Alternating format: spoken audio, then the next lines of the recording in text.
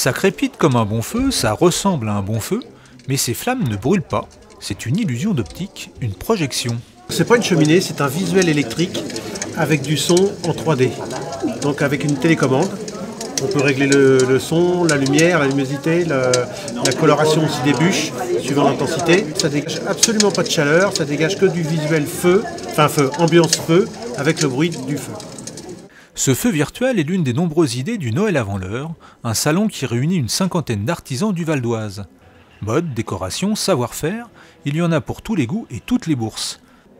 De la Rolls des couteaux de cuisine à 2000 euros pièce aux boules de Noël fait main à 15 euros. On peut clipper des deux côtés. Dans la même gamme de prix, ces drôles de petits triangles créés par Cindy, une jeune designer, médaille d'argent au fameux concours Lépine. Clippy, c'est un jeu de construction qui permet de créer vous-même l'objet qui vous fait plaisir, comme par exemple ce pot à crayon. Ou alors plus euh, des châteaux, euh, des armures, des casques, des sacs, des petites pochettes. Ça va de 16 euros à 34,99. À 16 euros, on peut faire un, tout petit sac euh, comme une bourse. Pour la plus grosse boîte, on peut en faire une dizaine de créations. Des idées originales comme les triangles de Cindy, le salon en regorge. Des meubles qui s'ouvrent comme des fleurs avec un doigt, des bijoux en peau de raie ou des cafetières oiseaux.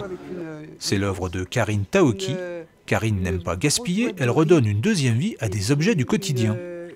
Je recycle des ustensiles de cuisine que je chine dans les brocantes, les Emmaüs et parfois on, m'en donne aussi.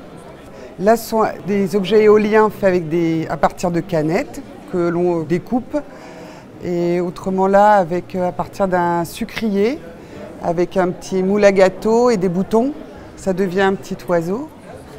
Cette idée est venue lors d'un voyage euh, au Canada, euh, sur l'île de Vancouver. J'étais sur des plages euh, désertes, sauvages, et là arrivaient tous les déchets de Fukushima. Donc c'était le contraste. Et donc voilà, ça m'a donné envie de, de recycler.